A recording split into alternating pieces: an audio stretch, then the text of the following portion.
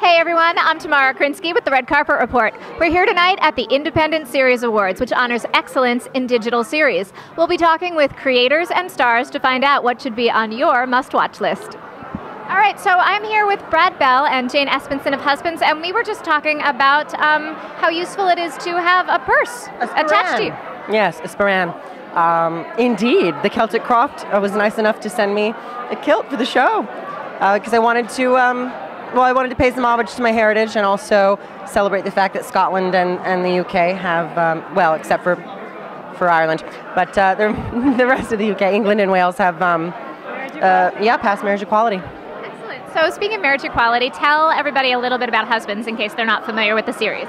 Yeah, Husbands is a show we created together, and it's uh, an online show about two young men who haven't been dating very long but end up drunk married and uh, they don't want it. They don't want to look bad for the cause, and they uh, they decide to make a go of it. And uh, luckily, I think they love each other. I think they're going to be okay. And you guys, you have completed three seasons, correct? Mm-hmm. Yes. We're on the CW Seed now. That's where you can watch it. Yeah. So what's it been like? Because you've gone through several different platforms. Talk about that evolution of what it's been like for the series and how it's changed over the three seasons. Um, it's interesting because I, I think what we've seen is that the platform is really kind of irrelevant. You know, it's it's uh, content on a screen, and that could be any kind of content on any kind of screen being delivered in any way. It's it's a question of uh, is it good and do people want to watch it? And luckily, people like what we do. I, th- I think the thing that is different about what we do is is the indie part of, of these awards, which is that there isn't anyone telling us what to put in our show and what we can't put in our show, and we really we really treasure that. And CW's been wonderful about that. And Jane, you're a veteran of one hour television. What has it been like switching from one hour to this very independent genre where you pretty much there are no rules? It's it's very different, uh, other than the writing process, which is exactly the same. And um, well, the one you, you got your start in sitcoms.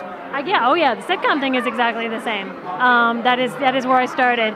Um, the wonderful thing about doing the show with Brad, I've never had a writing partner before and a producing partner, is that he's the showrunner um, which which is wonderful because he does the really hard work.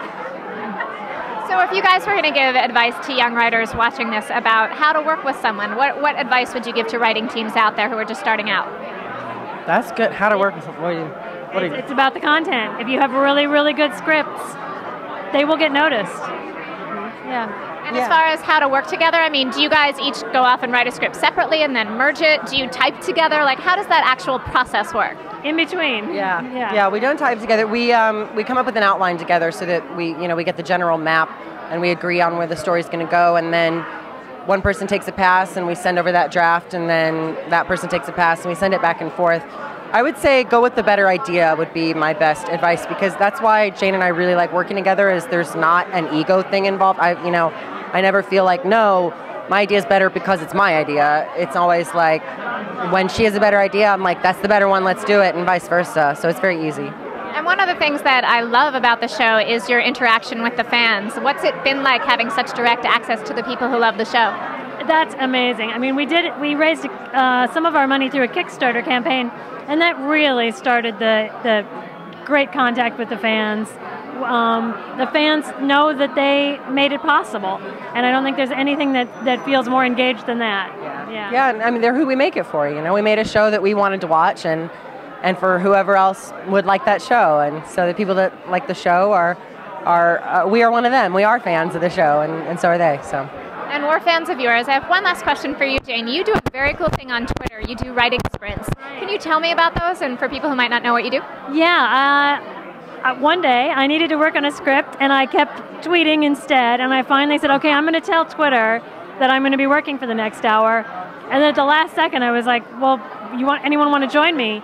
And so now, anytime that I really need to focus, I can just reach out, and there are all these people, hundreds of people focusing at the same time, which just sort of helps you feel accountable. And people have really found it useful. I get people every day saying like I finished my dissertation or I wrote a book or whatever because of your sprints. It's it's wonderful. Yeah, that's kind of amazing because we usually hear about how Twitter and Facebook distract us from creative work. You've actually found a way to make it work for you. Yeah, it's brilliant. Yeah, by publicizing stop tweeting. Well, have a fantastic time tonight. Thanks so much for talking with us. Thank you very much. Thank Good to see you. you. Thank you so much. Thanks so much for joining us tonight at the Independent Series Award. If you liked what you saw, click like, and if you want to see more, hit subscribe. And tell me in the comments what your favorite web series is. Mine would be Emma Approved. Check the credits and you'll know why.